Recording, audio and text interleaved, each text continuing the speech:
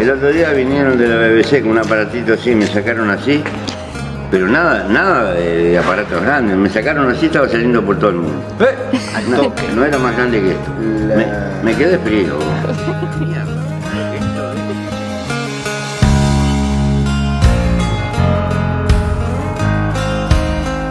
autoridades presentes de todas las latitudes y organismos. Muchas gracias.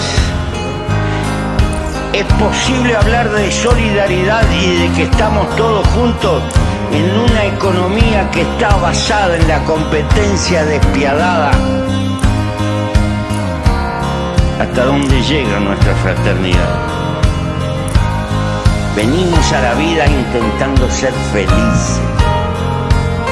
Porque la vida es corta y se nos va.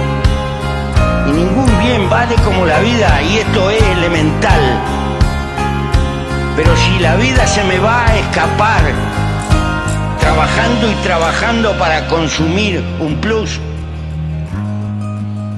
pobre no es el que tiene poco, sino que verdaderamente pobre es el que necesita infinitamente mucho y desea y desea y desea más y más.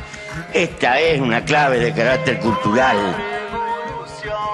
Mis compañeros trabajadores lucharon mucho por las ocho horas de trabajo y ahora están consiguiendo seis horas. Pero el que consigue seis horas se consigue dos trabajos, por lo tanto trabaja más que antes. ¿Por qué? Porque tiene que pagar una cantidad de cuotas. Que compró, el autito que compró, y pague cuota y pague cuota y cuando quiera acordar, es un viejo reumático como yo y se le fue la vida. Y uno se hace esta pregunta, ese es el destino de la vida humana. Estas cosas son muy elementales. El desarrollo no puede ser en contra de la felicidad, tiene que ser a favor de la felicidad humana, del amor, arriba de la tierra, los hijos, de tener amigos, de tener lo elemental. Precisamente, porque eso es el tesoro más importante que tiene.